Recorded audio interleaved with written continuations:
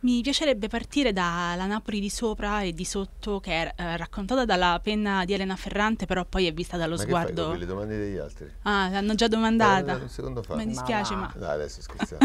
Ehm, perché mi sembra che eh, questa città viva di due facce come la storia. Ci sono due realtà in questa storia. C'è la realtà del tuo personaggio, ma c'è anche la realtà di Vittoria e ci sono anche due città.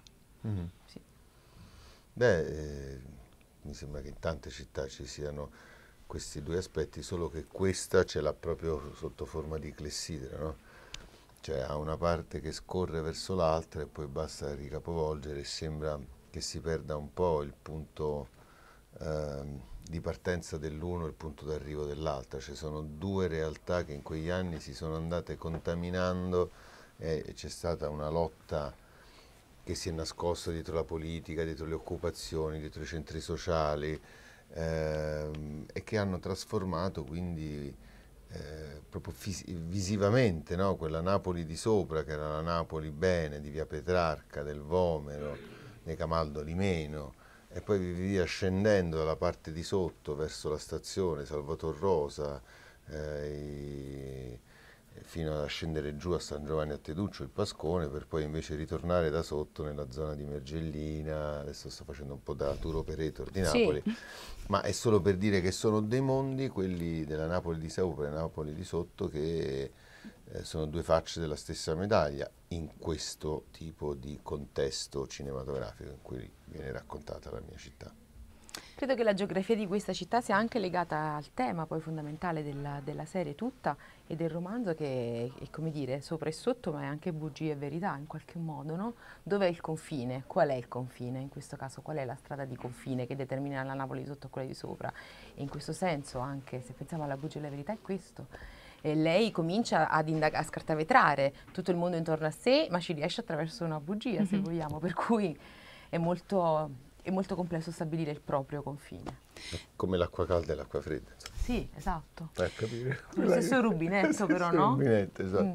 C'è una scena secondo me molto bella che ti vede protagonista quando il tuo personaggio eh, parla della traduzione di un romanzo eh, di cui si sta occupando ma nessuno l'ascolta e, eppure è in un contesto in cui la cultura eh, sembrerebbe invece essere il pane con il quale loro eh, vivono, no? Secondo te perché non viene ascoltata? Non viene ascoltata perché le cose vere annoiano, forse questa è la verità, almeno in quella casa. Per cui l'autenticità di un desiderio, dell'espressione di un desiderio è piuttosto noiosa, mentre invece l'espressione eh, di un certo tipo di decoro eh, in qualche modo borghese viene visto come un formale e quindi in qualche modo da rispettare e quindi da ascoltare. Ehm, l'adolescenza è la ricerca anche della propria identità. Giovanna ha bisogno di specchiarsi in Vittoria per capire eh, un po' da dove arriva anche lei e di scoprire le bugie e la fallibilità dei propri genitori. Credete che sia un percorso naturale per diventare adulti, rompere quell'incanto? Beh, in questo caso è un po' troppo precoce. Penso che ci sia una grande fretta in questo romanzo. Eh, Beh, è chiaramente un film, eh, possiamo aspettare che... Però ho come la sensazione che quello che viene mh, somministrato dall'autrice e quindi anche dal, dal regista alla povera Giovanna sia un po' un- una specie di capro espiatorio, di vittima sacrificale che l'autrice utilizza per poter precocemente toccare immediatamente tutte- tutti i sali tossici e tutta la tossicità dell'adolescenza e risolverla apparentemente attraverso un confronto con gli adulti, che poi tale non è, come poi la serie dimostrerà. L'ultima domanda è eh, il confronto con Giordana alla sua prima esperienza. È eccitante, stimolante per voi mettervi accanto, a fianco a qualcuno e mostrargli, mm, non so, come muoversi per la prima volta?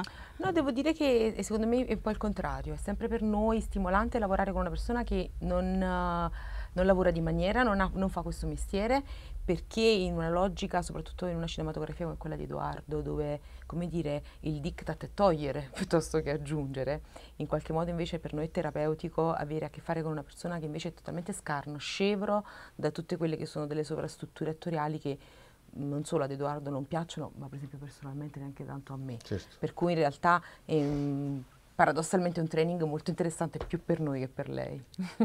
Grazie mille. Grazie a Grazie a te. Arrivederci. Grazie. Arrivederci.